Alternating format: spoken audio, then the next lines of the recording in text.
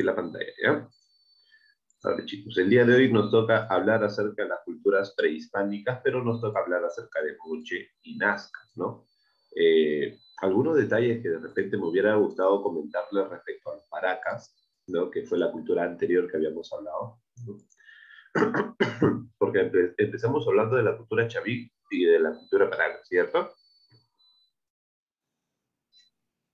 ¿O me equivoco? Estamos bien, ¿no? Ya, miren chicos, respecto a la cultura paracas, recuerden que la, lo, lo más eh, resaltante de esa cultura son, podríamos decir, lo siguiente, mira. Primero, recuerden que la cultura paracas tenía esa, esa gran habilidad o gran posibilidad de haber avanzado respecto a la medicina. Recuerden que la cultura paracas hacía las trepanaciones craneanas, ¿cierto? Que consistía en prácticamente abrir algunos orificios en la parte del cráneo. ¿Y sabes por qué era eso? Por dos motivos. Uno, en aquel entonces había muchas personas que sufrían de locura, o sea, eran muy inestables. ¿Qué se creía? Bueno, un problema en la, en la cabeza. Ante esa inestabilidad, ¿qué hacían? Un corte en la cabeza. ¿Por qué? Porque ellos creían de que justamente esa inestabilidad se producía porque el cerebro está muy presionado, necesita de alguna manera ¿no? este, aliviar esa presión. ¿Cómo aliviar la presión? Agujereando la cabeza. En otros casos, ¿no? Eh, hay otros motivos también, por ejemplo, cuando las personas por, sentían un dolor de cabeza muy fuerte, bueno, el dolor era demasiado fuerte, entonces, ¿qué pasaba? De la misma manera, para aliviar esa presión, se hacían los agujeros. ¿Y sabes qué es lo más curioso? Que hay, hay registros de personas que han recibido hasta 7 a 8 operaciones del cráneo y han podido vivir. No significa que inmediatamente morían, no, han podido vivir. O sea, no era cualquier cosa, no era cualquier cosa. Interesante respecto a la cultura eh, que estamos mencionando, que es la cultura paracas, ¿no? Y aparte, pues, ¿no? la cultura paracas, sus telas son una de las telas las más bellas que se han encontrado en este periodo. No era cualquier tela. Muy buenas telas las que pudieron desarrollar. Eduardo, dime, ¿hay alguna preguntita? Mm, bueno, no, pero desearía apagar mi cámara porque... Ya, apágalo, Eduardito, para que se pueda estabilizar tu internet.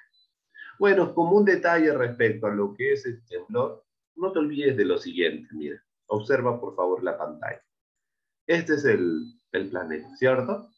Este es el suelo, ¿cierto? Tú estás encima, ¿cierto? Acá tú pones tu casa, ¿cierto? Aquí pones tu casita, normal, no pasa nada. Acá está tú, ¿no? Ahí estás tú, no hay problema. Y tú piensas que todo está normal, pero lo que pasa es que en el subsuelo, recuerden que nosotros estamos en un suelo que está desarrollado por diferentes cortezas. O sea, aunque tú no lo veas, en esta parte del suelo hay rajaduras. Hay muchas rajaduras. Y las rajaduras son así hay muchas rajaduras, muchos eh, e-, espacios, ¿no? ¿Y por qué ocurre el temblor? Recuerda que la Tierra está en constante movimiento. Aunque tú pienses de que nada se mueve, todo está en movimiento, solamente que tú no te das cuenta. ¿Y qué pasa? Ante ese movimiento va a haber momentos en donde esos dos pedazos de tierra se van a chocar. Y ese choque, ¿qué es lo que produce? Lo que tú conoces como temblor o terremoto. Ahora, respecto a nosotros, sí, estamos en un lugar un poco sísmico, pero no estamos tan este, ¿no? con tanto, tanto peligro como, por ejemplo, Japón. Japón, sí es, ¿tú crees que van a tener temblores de 5 grados? ellos sí tienen terremotos y todavía de Yapa les mandan maremotos, porque ellos están muy cerca del mar. O sea, por eso te digo, no te asustes. Lo mejor que tú puedes hacer ante estos momentos es, primero, tener tus cosas listas. Una maletita donde haya ropa, algunas, ¿no? Y segundo, escúchenme, y segundo... ¿Mochila de emergencias? Una mochilita de emergencia, ¿no? Donde tengo una, algunas cositas, bueno, alcohol, lo básico, lo básico. Y segundo, ¿no? Eh, podríamos decir, inmediatamente identificar las zonas que son seguras. Ayer, por ejemplo, con sinceridad, yo te comentaré también el temblor me agarró de sorpresa. No sabía ni siquiera qué hacer. En un primer momento dije, ya va a pasar. en vez de pasar aumentó, ¿no? Qué miedo. Y ya, pues ahí tuve que salir, ¿no? Pero igual, igual, ¿no? Eh, de alguna manera estos temblores te van a permitir entender que es necesario que tengamos precaución respecto a esto. Muy bien. Bueno, ya dejamos un ratito lo que es ese tema. Recordemos, vamos a hablar hoy día de las dos culturas que vienen, que son las culturas... bueno, estas son las fuentes, ¿no? Recuerda que nosotros para poder investigar acerca de la historia necesitamos utilizar diversas fuentes. Es un imposible que tú quieras estudiar la historia si no analizas fuentes. Si tú quieres estudiar la historia y no tienes fuentes, lo que tú estás haciendo no es estudiar. Posiblemente estés siendo engañado porque cualquier persona te está dando la información. ¿Cómo sabes que esa información es verdadera? No sabemos, ¿sí o no?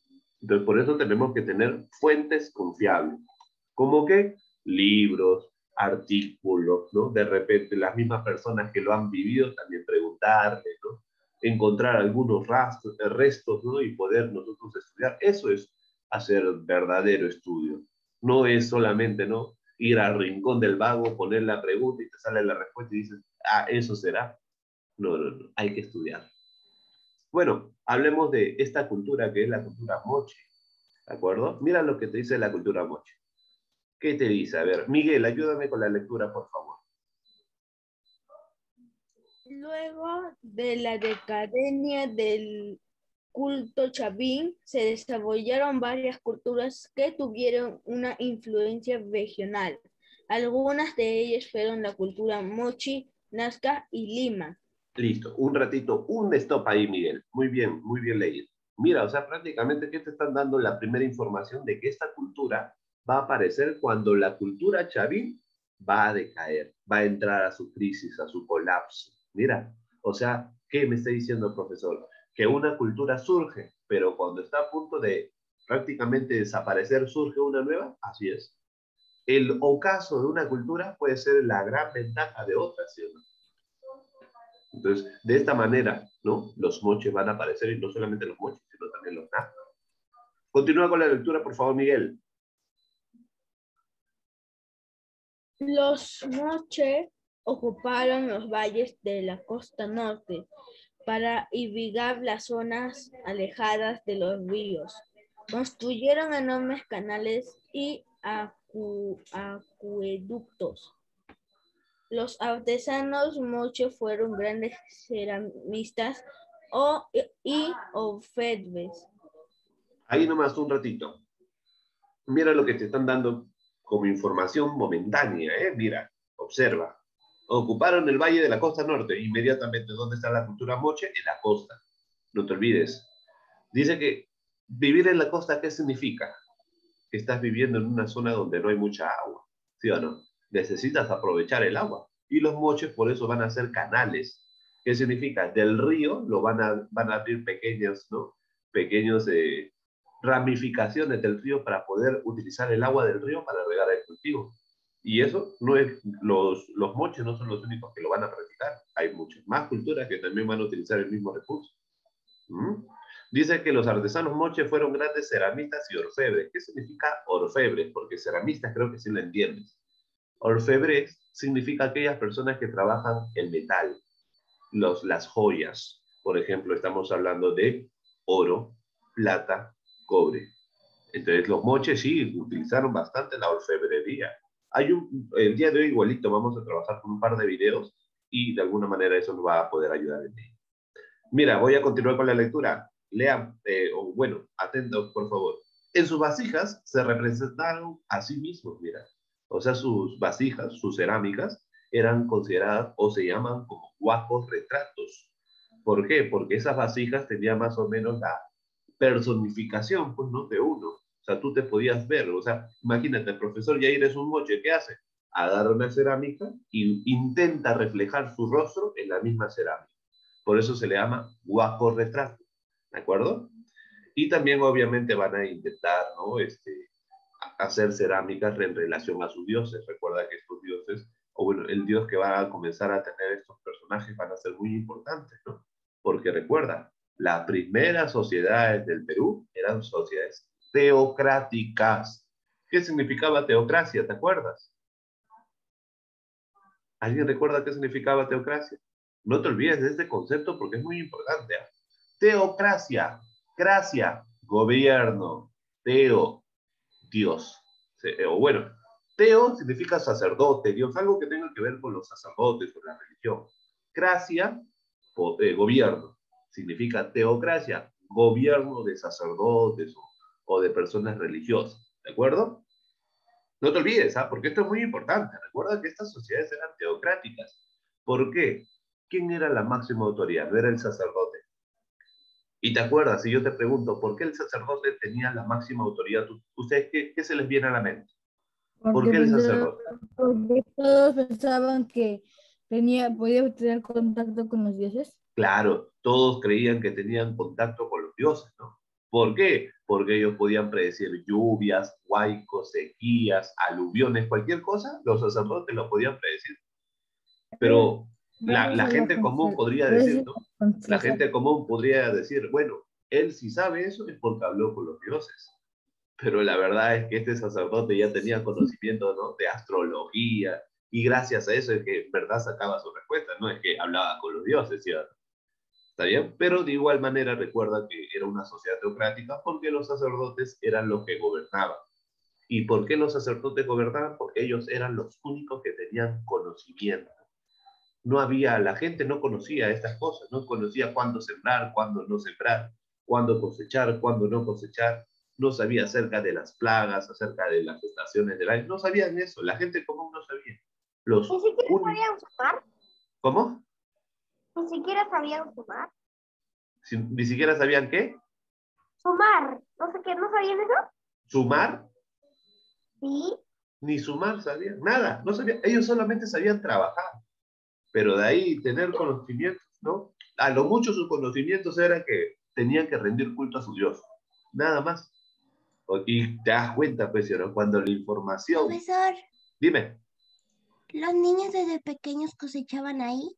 Desde muy pequeños ya se les, eh, prácticamente, ¿no? Este, se les eh, relacionaba con el trabajo, ¿sí? Para que aprendan a trabajar. Ese era el conocimiento que tenían. Trabajo, sus dioses y nada más. Nada más, chicos. ¿Ah? Pero en cambio el sacerdote, el sacerdote sí tenía muchos conocimientos. Mira lo que dice. Eh, ok, a sus dioses, escenas cotidianas y productos de algo. Ok. También fabricaron adornos de cobre, oro y plata, como los hallados en la tumba del señor de Zipán, dice. Los moches edificaron grandes centros ceremoniales, entre ellos la Huaca del Sol y la Huaca de la Luna. Bueno, si te das cuenta, ahí están los territorios más o menos que se puede eh, encontrar acerca de estos, estas nuevas culturas, ¿no? Por ejemplo, la cultura Lima, ¿cuál va a ser? La de acá, donde justamente está la, la ciudad de Lima, ¿sí? Que, o sea, les estoy diciendo que antes de la llegada de los españoles, aquí había una cultura, sí, había una cultura y esa cultura era la cultura Lima. Ahora, obviamente que no, no necesariamente saben llamarlo Lima, ¿no? Tienen otro nombre, pero de alguna manera para poder identificarlo se le coloca el, Lima, ¿no? La cultura Lima. La cultura Moche, que está por acá. ¿Mm? O perdón, la cultura Nazca.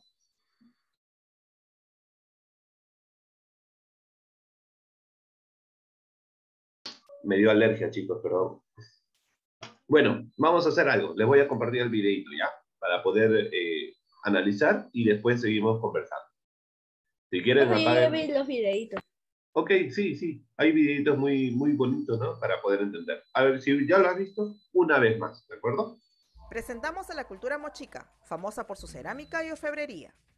La cultura mochica o moche ha sido estudiada por diversos arqueólogos, atribuyéndose su descubrimiento al arqueólogo alemán Federico Maxule en 1909 y los estudios más importantes al ingeniero de la misma nacionalidad, Enrique Brüning, quien en 1899 excavó 31 yacimientos funerarios en las inmediaciones de la Huaca del Sol y de la Luna. Esta cultura también ha sido estudiada por los arqueólogos peruanos Julio César Tello y Rafael Larco Joile, destacando particularmente este último, quien identificó de manera científica los diversos periodos de esta cultura de acuerdo a los estilos y técnicas de su cerámica. Surgió en el periodo denominado intermedio temprano, entre los años 100 a.C. y 800 después desarrollándose paralelamente a la cultura nazca. Se desarrolló en la costa norte, específicamente en el valle formado por el río Moche, actualmente ubicado en el departamento de La Libertad. Y durante su época de mayor florecimiento, también ocupó el valle de Piura, en el departamento del mismo nombre por el norte, y Nepeña en Ancash por el sur. Esta cultura es denominada Moche debido al valle donde fueron encontrados los restos arqueológicos más importantes, y Mochica en razón del nombre de la lengua que hablaban sus pobladores, el Muchic. Perdón, miren chicos, aquí respecto a se está mencionando, como por ejemplo, no te están diciendo por qué sale el nombre de, del moche o mochica, ¿no? Bueno, mochica ya sabes que es por el, por el idioma, ¿no? Pero algo que quiero que tú que comiences a darte cuenta de algo. A partir de la cultura moche, o especialmente la cultura wari, vamos a comenzar a ver nuevamente el auge de los imperios, del intento de imperio de la cultura. Ahora, ustedes dirán, profe, ¿qué cosa es imperio?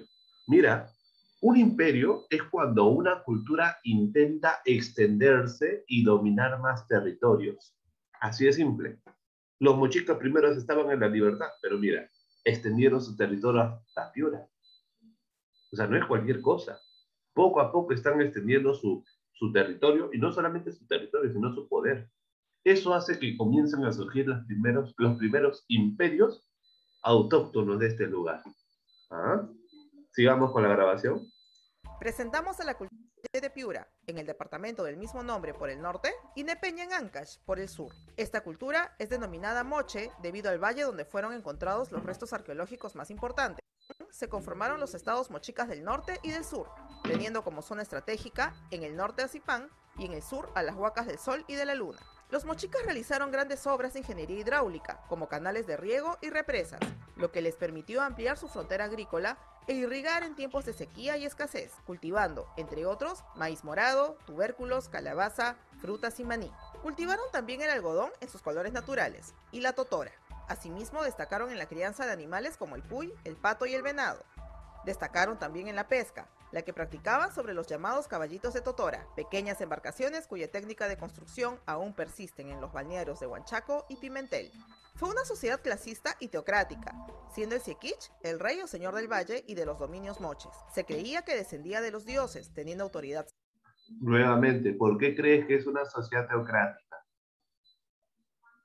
¿Por qué crees que los moches también son una sociedad teocrática? ¿Por qué? Porque hay porque el gobernador ¿Cómo, cómo? Señor del Valle. ¿Cómo? No les entiendo.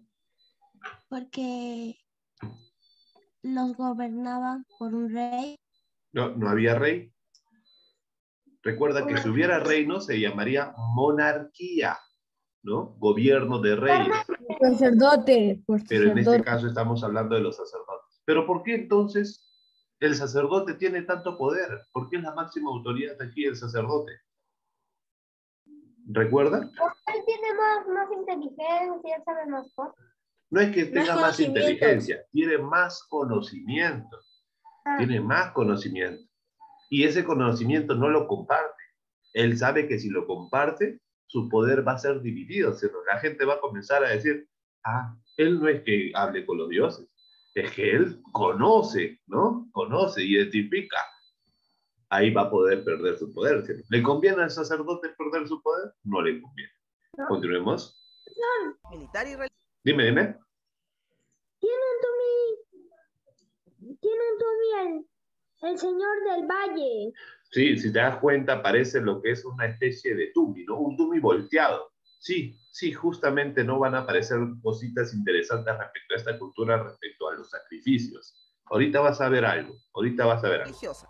Por debajo del Siequich se encontraban los sacerdotes, personajes importantes en los actos rituales que habitaban en los templos piramidales. En cuanto a la organización política, se puede establecer que no existía un poder único centralizado, sino que cada valle contaba con su propio rey o señor, los mismos que se distinguían por el tipo de vestimenta. Esto es muy importante, chicos. ¿Qué es lo que pasa? ¿Por qué dicen que, que no había centralismo de poder? Centralismo de poder, por ejemplo, en la actualidad, ¿qué? El presidente, ¿no? En el presidente está prácticamente todo, ¿no? Todo el, las decisiones, ¿cierto? Centralismo. Pero dice que en aquel entonces no había centralismo, o sea, una persona no decidía todo, no, no, no. ¿Qué pasaba? Recuerda, los moches comenzaron a expandirse, ¿cierto? Comenzaron a expandirse. Y en cada lugar donde estaban expandiéndose, dejaron, por así decirlo, eh, una especie de ciudad-pueblo. Ahora cada sonidito parece un futuro temblor, ¿no? Ya bueno, la cosa es que en cada, pues, en cada lugar, mira por favor a la izquierda, mira a la izquierda lo que te voy a señalar. Imagínate que este es el territorio.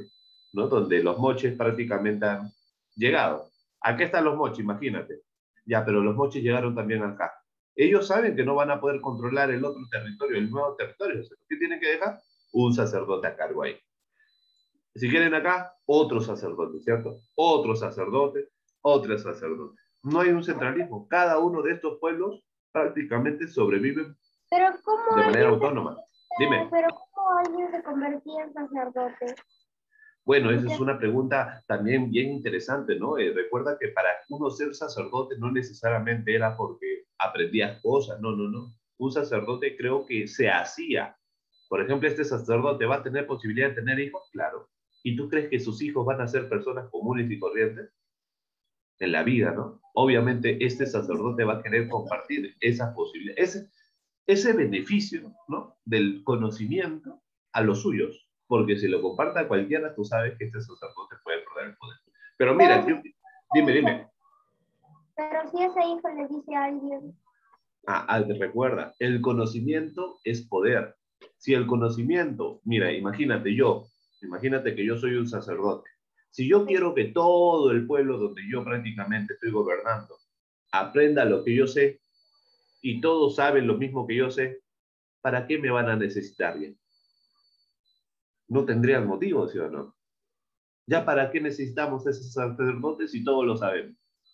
Por eso los sacerdotes no Si podían no te compartir. preocupas de los demás, Claro, bueno, por eso es- el sacerdote no le convenía compartir el conocimiento. ¿ah?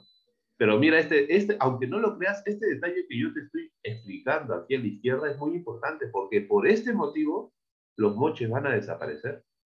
¿Por qué? Mira, en cada uno de estos pueblos va a haber un sacerdote jefe, donde prácticamente tiene que solucionar sus propios problemas. En algún momento van a haber lugares como, por ejemplo, imagínate que aquí, ¿no? Esta es la ciudad Moche, ya, pero necesitan comida. Entonces van y le piden a este pueblo. Y el pueblo le dice, ¿sabes qué? No hay comida, solamente tenemos para nosotros. Van de acá, ahora van para acá. Igualito, comida, no hay comida, le dice. Y así, ¿te das cuenta? Cada uno es prácticamente, ahora están autogobernándose. Y ante ese autogobierno va a haber separación. Y esa separación, ¿qué va a producir? Lo primero, hambruna. Y lo último, extinción de la cultura moche. guerra. O guerra también, claro. Tú sabes que cuando, que cuando no hay comida, la poca comida va a ser luchada, ¿sí o no? Claro, van a ¿Como tener que luchar por esa poca comida. No con los españoles. Todavía no llegan los españoles. ¿Contra quiénes van a luchar? Contra los otros pueblos que sí tienen comida. Recuerda, si hay un pueblo que no tiene comida, ¿qué es lo que le toca? Luchar por ir a ese pueblo que sí tiene comida, ¿no? Y se lo quita. Seguimos. Los señores de cada valle realizaban alianzas para realizar obras de bien común, celebrar ceremonias rituales o emprender conquistas militares. Uno de los más antiguos gobernantes de la cultura mochica del que se tiene conocimiento es el llamado Señor de Zipán, cuyos restos fueron encontrados en 1987 por los arqueólogos peruanos Walter Alba y Luis Chero, en la localidad que lleva el mismo nombre en el yacimiento arqueológico Huaca Rajada, con una cantidad considerable de joyas y ornamentos, como collares, orejeras, cetros, entre otros, enterrado en un ataúd de madera que reveló al continente y al mundo la magnificencia y majestuosidad de los gobernantes del antiguo Perú. El año 2005 se realiza otro fabuloso descubrimiento relacionado con esta importante cultura, esta vez en el Centro Ceremonial de Cabo Viejo, ubicado en el complejo arqueológico El Brujo en La Libertad. Una momia femenina, cuya existencia fue posterior al señor de Zipán, fue hallada en una tumba con cetros de madera forrados de cobre, utilizados en ceremonias como símbolos de poder y hegemonía. Hasta antes de este hallazgo se pensaba que solo los hombres ejercían altos cargos dentro de la jerarquía mochica. Sin embargo, los restos de la mujer estaban cubiertos por 18 collares de oro, plata y lapislázuli, adornos de nariz de oro y plata y coronas de cobre dorado. lo que junto a los tatuajes que aún son visibles en su piel, indicarían una función de sacerdotisa o una posición de alto rango político o religioso, por lo que fue bautizada como la Dama de Cao. Qué interesante, ¿no? Qué interesante. O sea, me estás diciendo, profesor, que en esta sociedad los hombres no eran la máxima autoridad. No necesariamente. Ya te estás dando cuenta de que es cierto, el señor de Zipán por un lado, ¿sí o no? Pero mira, tenemos a la dama de Cao de Polo y posiblemente también era una sacerdotisa de conocimiento. ¿ah? Pero obviamente de otro pueblo, ¿no? De otro pueblo. O sea, y al final, todos los pueblos pertenecen a una cultura, que es la cultura moche. Pero mira el problema, ¿no? Que cada uno de los pueblos va a decir, ¿sabes qué? Yo solamente veo por lo mío. Lo demás, verás cómo lo soluciono. Dime, a ver, un ratito, las damas primeras, Janicita, dime. ¿Por qué las mujeres tienen diferentes en su cabeza ¿Cómo, que cómo? los hombres? Ah, no porque tienen como... la joyería de la mujer, porque es diferente. Ya, mira, hay muchas explicaciones. Por ejemplo, recuerda que como les estoy explicando, la cultura moche ha- se ha extendido, ¿cierto? Mira, si esta es la cultura, ahorita te escucho acá, si acá está la cultura moche, tú sabes que no es el único pueblo donde están sacerdotes gobernando, ¿cierto? Posiblemente haya otros gobiernos donde, a, a la paralela, ¿no? Aquí, aquí, aquí y aquí.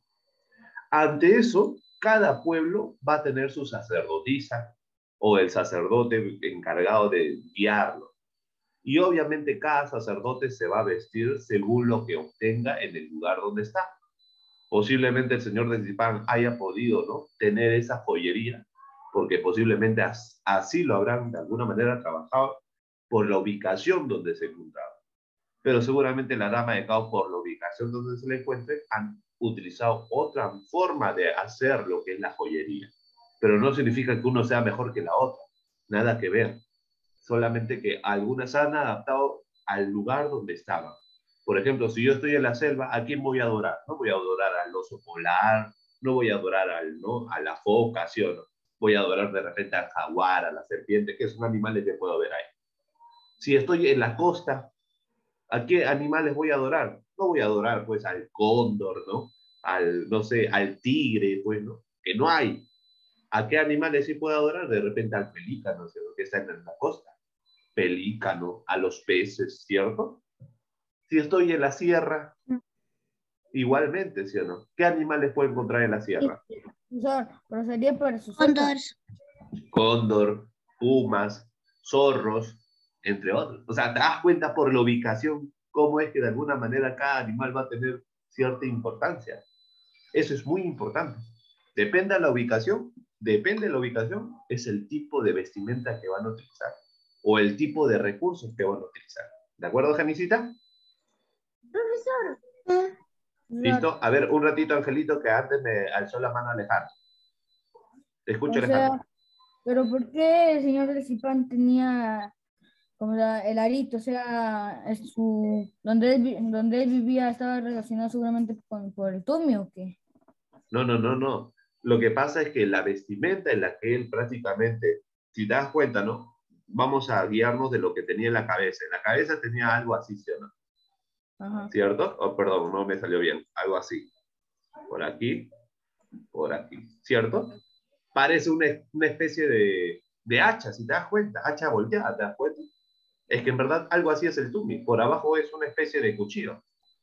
Ahora, ¿por qué es tan importante esto? Recuerda, ¿por qué al varón se lo viste así y a la mujer se le, se le está cubriendo de esta manera? Recuerda, respecto al varón, se considera de que el varón era el más, eh, el más apto para la guerra, por así decirlo. ¿Y en la guerra qué hay? Hay muertes, ¿sí o no? Y para matar a la gente, obviamente vas a necesitar algo filudo, ¿sí o no? Ajá. Por eso es que en los varones se ponía esto, ¿no? ¿Por qué? Porque hacía representación de la guerra. Pero que todos llevamos un montón de tu Ujú. No todos, ¿ah? No todos. La gente común vestía con su ropa nomás. El único que llevaba este tipo de exageraciones era los sacerdotes principales o los de alto cargo. Los demás, como salían nomás con su tela. ¿Mm? Así nomás.